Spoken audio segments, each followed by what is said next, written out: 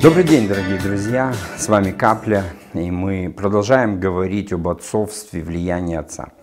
Сегодня я хотел бы, чтобы мы начали говорить о достаточно такой большой теме, это э, дисциплинирование детей, коррекция и так далее. Достаточно э, негативная тема, потому что когда мы говорим о коррекции, мы всегда говорим о некоем силовом или, возможно, психологическом воздействии на детей. Из-за того, что эта тема может быть не, ну, не совсем приятна, а самые такие трудные аспекты мы оставим на конец. Сегодня я хочу начать с того, что дисциплинирование детей является прерогативой отца. Другими словами, отец должен взять на себя ответственность за а, процесс дисциплинирования.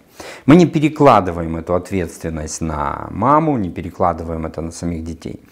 Если мы с вами устанавливаем в доме правила, если мы с вами являемся теми людьми, которые э, обладают властью, пользуются этой властью, если мы являемся теми людьми, которые обладают в семье властью, то мы же должны быть теми, кто э, наказывает за нарушение семейных правил. Как это делать, опять же, мы поговорим немного позже. Но сегодня мне хотелось бы заострить внимание только на одном очень важном аспекте. Мы, как отцы, должны быть теми, кто а, наказывает.